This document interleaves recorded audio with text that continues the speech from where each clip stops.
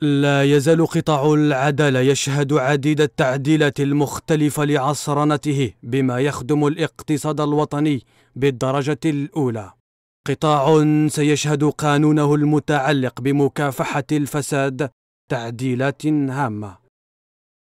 قانون تعديل الفساد راح يشمل خمس مواضيع مهمة وممكن من ذاك الوقت تظهر فيه مستجدات أخرى. فيه تشديد أكثر للعقوبات فيه حماية أكثر للمبلغين فيه تحديد أكثر لمفهوم الموظف العمومي فيه التسوية الودية مع الشركات مثل ما أعلن عليه في برنامج الحكومة في سبتمبر الماضي مع الشركات التجارية. هذه هي مجمل التعديلات اللي راح يشملها القانون 0601 اللي يجيكم عن قريب. وفيه الجانب المتعلق بالهيئة الوطنية.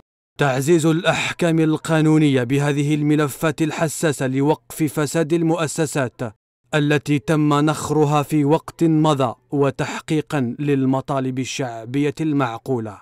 هو آه، عمل يعني آه، أكثر أكثر منه مطلب اجتماعي أن الحماية لاقتصاد الدولة حماية للمجتمع الجزائري يتوجب يعني خطوة يعني أكثر من فعالة.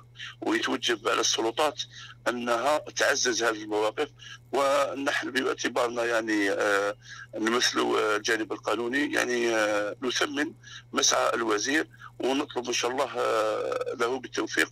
لأنه النقاط حساسة جدا وراح تشكل ثروة فعالة في هذا المجال.